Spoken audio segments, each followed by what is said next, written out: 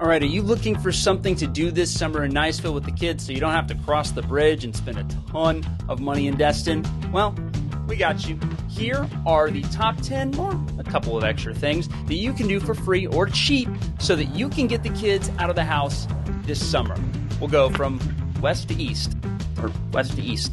The number one thing that you'll probably want to check out is the Eglin Armament Museum. This amazing indoor and outdoor facility has most of the fighter planes and bombers that the Air Force used during the 20th century during the Cold War against the Soviet Union. Kids will learn about the planes and the munitions that the museum has on display.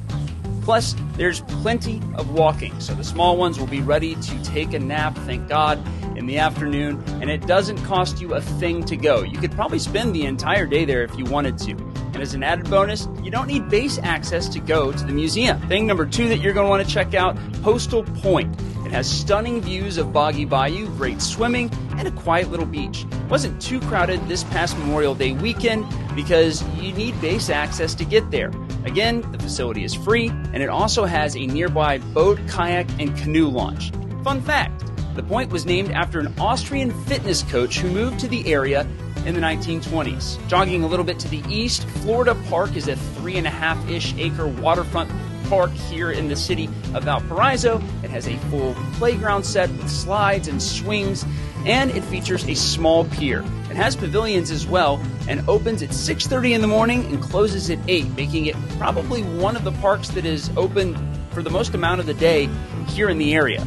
Up next on our list is the Northwest Florida Heritage Museum. It has lots of local history from everybody from the Spanish explorers who came in the 16th century to the Jet Age.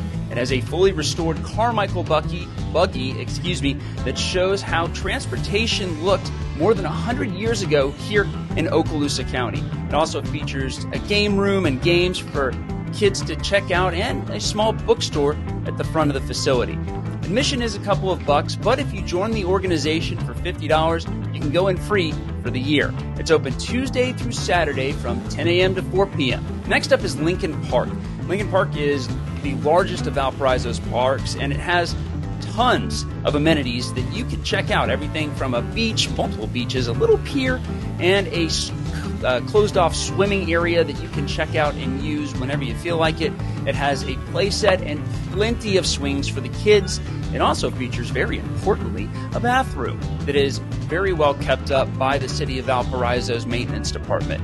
And there's a boat launch, which is under construction right now, but will soon be complete. Okay, heading into Niceville, Turkey Creek Park is the most famous of all the parks here in the area. It has a boardwalk, uh, areas to get into Turkey Creek and take a nice cool swim, especially during the hot months. And it's open from 6:30 a.m. until 5 p.m. for walking, swimming, tubing, everything you'd want to do there. It features a garden of memories for children who have passed on as well.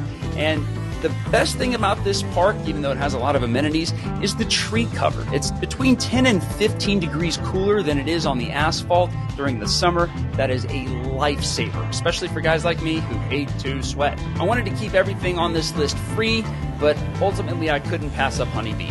Honeybee is an ice cream store slash arcade that is on the corner of John Sims and 285, right in the heart of Niceville, across from the tax collector's office. And it's open from 10 a.m. to 10 p.m every day of the week. They've got dozens of flavors that you can try out, and they also sell other treats like boba tea and custom drinks for you to, I guess, drink. You would drink them, right? Anyway, there are more than 30 arcade games for you to play, everything from Tekken to NBA Jam.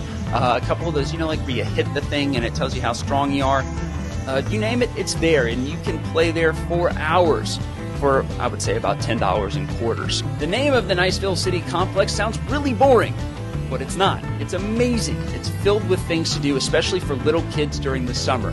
First things first, the library has tens of thousands of book on uh, books on their shelves, but if you ask for a book, they can find it for you and get it an interlibrary loan. So there's no excuse for you to not check out books there. And they have other things like computers and games and activities for kids. A little note about the library though, it has some complicated hours, so I'm going to go ahead and put it on one side of me uh, what those hours are for the days of the week, uh, but just know it varies. Also in that complex is the Children's Park, which famously has a splash pad, which opens on Memorial Day weekend and is an incredible place to hang out and get away from the summer heat. And then the skate park is for kids that are a little bit older and they require a helmet. If you don't bring one, it's a $2 rental and it's probably a really dorky one, so just bring your own helmet.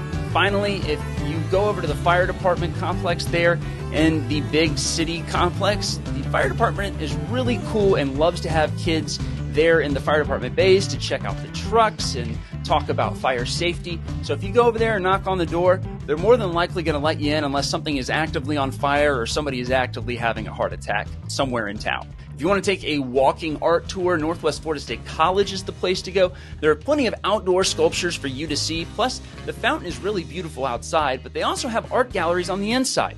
It's an incredible place to check out and a lot of fun for your little art lovers. One of the activities here in Niceville that I think gets overlooked is plane watching. And plane watching is best at the Rocky Runway Park. That's where all those single engine planes fly in on their descent to land.